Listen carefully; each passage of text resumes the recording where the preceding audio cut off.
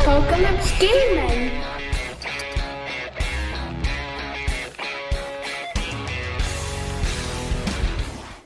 Hey there my friends, hope everybody's well. Um, I've got a new toy to show you today. It's a new airbrush. Um, it's from Sparmax and it's the Max 4. There's two versions out there. There's the Max 3 and the Max 4. The Max 4 is the 0.4mm nozzle and needle. Um, comes with 7mm uh, colour cup and it's got your standard 1 8th of an inch fitting the same as Iwata uses.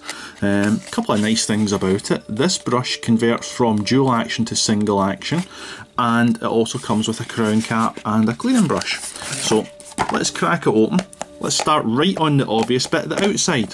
It's a really nice case for storing it in. Um, if you choose to keep your brushes in their cases, not everyone does, I don't, I've got my own gun rack, um, I've got some hooks on the wall where I keep all my brushes for quick access, but if you do keep it in here, then it's certainly a nice little case. Good solid clip, everything's kept in nice and tight. Lifts out, and there you've got your wee cleaning brush that comes with it and a set of breakdown instructions.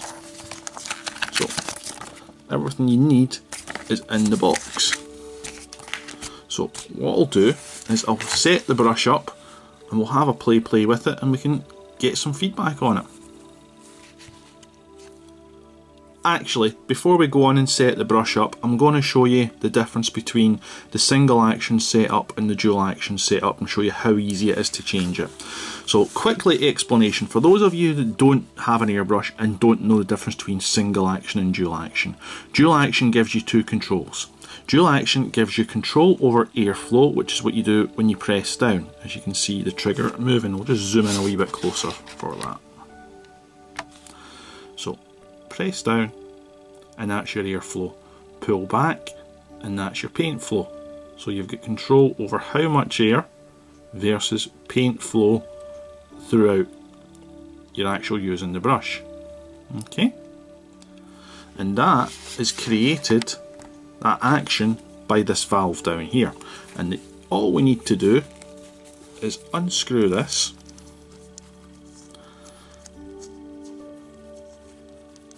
off the bottom of the brush and this is our dual action valve. Okay, let's get the up and down motion here. Our single action valve, as you see, doesn't have that. So we'll screw this in to the bottom of the brush. And you now have a single action airbrush. And if you look, I'm pressing down, you can see the pressure forming on my finger. That doesn't go up and down. So now we don't have control over our airflow. All we have control over is our paint flow. So as we pull back, the air's shooting through the brush and it sprays our pattern. Single action is a great way to learn. I much prefer personally using dual action. Not everyone does, and it will come down to personal preferences. But the beauty of this brush is it does both. So straight out of the box, you don't need to think about should I buy a dual action, should I buy a single action. Some of my friends are advising always buy dual action, other people saying no, no, start with a single action. This little baby does both. So for the test, I'll set it up and show you it running as dual action and then we'll wee shot as single action, just so you can see the paint flow coming out of both options. So let's take a look at this bad boy in action. So what I'm going to just quickly demonstrate is, as I've got it set up in the dual action, when I press down here, hopefully you can hear that, the airflow coming out of the airbrush, but what you can see is on my hand, no paint. That's because the dual actions I've explained already, down is air, back is paint. So let's start sticking some stuff down on the paper and show you an idea of the line work that we can achieve. Just starting really close to the paper and pulling it back marginally.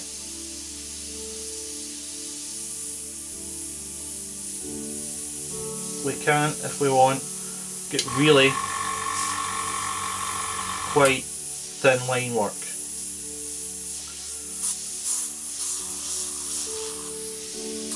Or, if we want,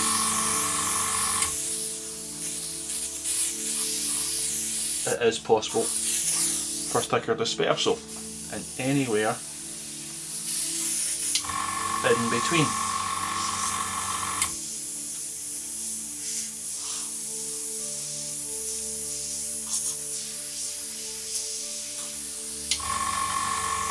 Just depending on what you want to achieve. However, if you're not particularly skilled with your brush, i.e. me, what you can also use is the preset at the back here. What the preset does is, if you tighten it right up, watch this, and the trigger barely moves. So that's too much or too little, just open it up a wee bit further and the trigger will move to where you want it. Obviously the further back we pull the trigger, more paint comes out here, wider the dispersal pattern. So if you're looking to do some fine controlled work, take it right down and spray with that and then you can't go past a certain line width apart from pulling further away from the actual object you're painting. So then, I've adjusted the preset so that the trigger only goes back so far, as you can see. That means when I'm working a bit closer, I'm not going to get too wide a spray pattern, too wide a dispersal. Good tip as well is always put on your air first, then apply your paint.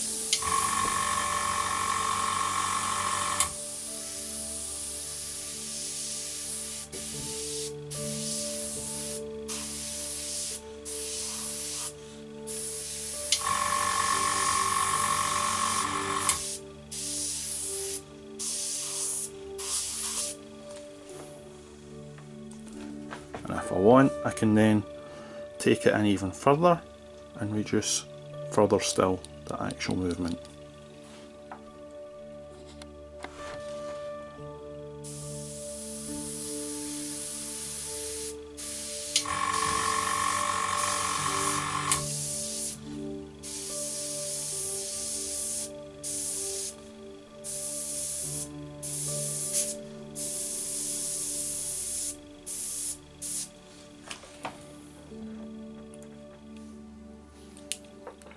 Back up.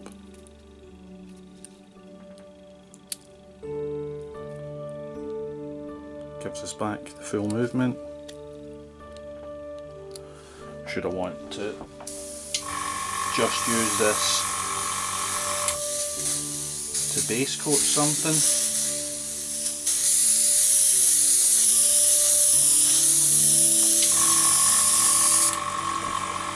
it's easy enough to do. When you're spraying with an airbrush, what you're doing is spraying dots, as you can see, so what you're really doing is building up layer upon layer upon layer of transparency. Even though your paint's opaque, you're trying to build it up as if it's a transparent layer, bit upon bit upon bit. So, very good brush, just if you want to do your base coating, if you want to get in for closer line work, it's perfectly achievable as well. What we also have is, which we'll set up next, is the crown cap, because this is your normal standard cap, your crown cap is slightly different and that comes in this brush as well. So we'll set up with the crown cap next and show you what that does. So that's the crown cap, it comes with it. Every other airbrush I've got that I've had to buy a crown cap, sorry, every airbrush I've got I've had to buy the crown cap separate, this one comes with it. If you're lucky you can just see through that at the minute, the needle tip. What this does is it allows you to get much closer into your work but the airflow is getting dispersed. So there's my finger pressed up against the top. Not something I really advise because you can get an embolism, I've been told, um, by putting the airflow of your air compressor straight against your finger. But for this demonstration, the crown cap lets the air escape. And because of that, you can get really in close to the work to do much finer detail stuff. Also lets you drop the pressure a wee bit. This brush works at good atomization at low pressures as well, which is a good feature of it. So pressure's down about maybe 16, 18 and we've got the crown cap on. Let's go and have a wee look at that.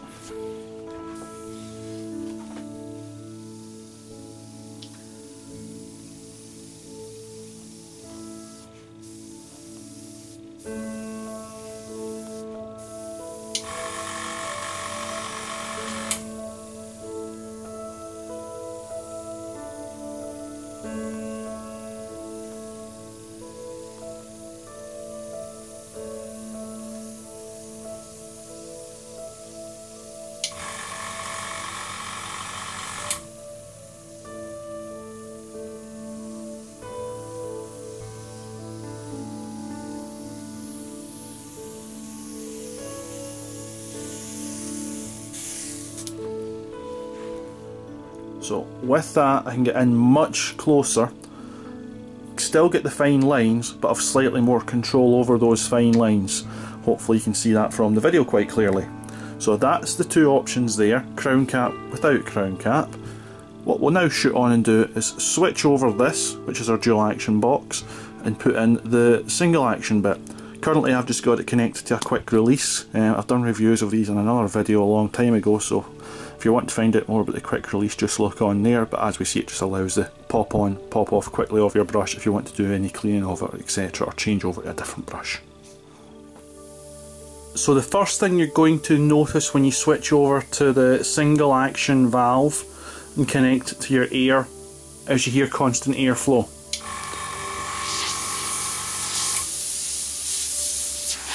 That's because the way this single action sets up you're always going to have a bit of constant airflow. Next thing you're going to notice is the trigger doesn't have any depression. You can actually lift it up a wee bit but it doesn't make any difference, it just sits down sits down nice and tight. So let's get using this and we'll have a look to see how it operates.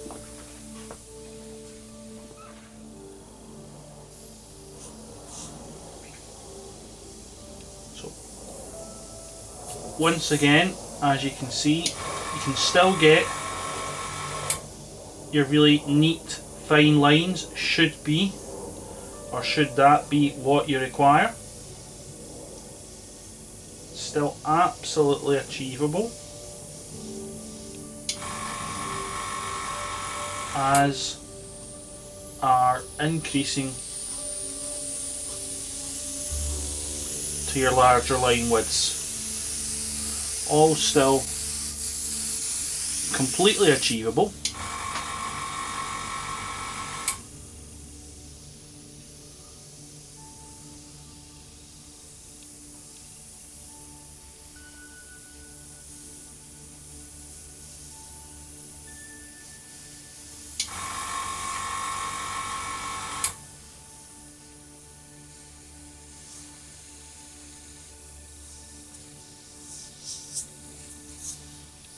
just depending on what you're looking for. Another good feature of the brush I want to draw your attention to is the cup shape. The reason I want to mention that is it's so you get no paint wastage. Some of the generic brushes that are out there, you might have a bevel shaped cup at the bottom which then leads to paint pooling rather than dropping all the way down to the reservoir. The nice straight angled shape to this one means that all the paint runs straight down into the very bottom of the reservoir so you don't have any paint pooling in any part of the cup. So it's something to bear in mind um, just to try and reduce paint wastage and also to save you having to then clean areas which aren't going all the way down as often. All your paint goes to the bottom. It means you get nice simple cleaning and it also means no paint wastage. As I say that's just because as you can see angled straight down and into the actual bottom of the reservoir.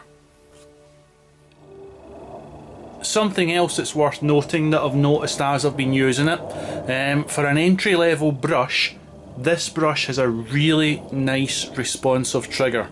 Um, as you can see pressing down you can just see the white of my finger and putting the pressure on but it's a nice responsive trigger in both directions so whether it's your airflow or whether it's your paint flow. There's no sponginess to it, it's just nice, good, responsive.